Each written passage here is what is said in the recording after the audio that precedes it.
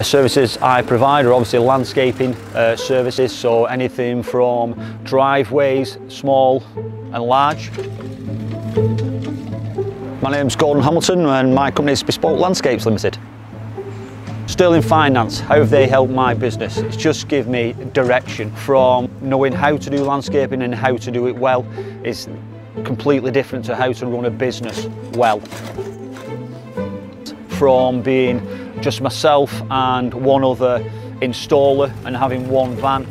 In five years we now have four vans we now have nine, including subcontractors, employees. We have our business premises and we have an office that we work from as well. That is a massive change. Uh, 20 potential customers that are thinking of using Sterling Finance, just get that one, that first meeting initiated and uh, tell them where you want to go, what your problems are, and they will help you solve them.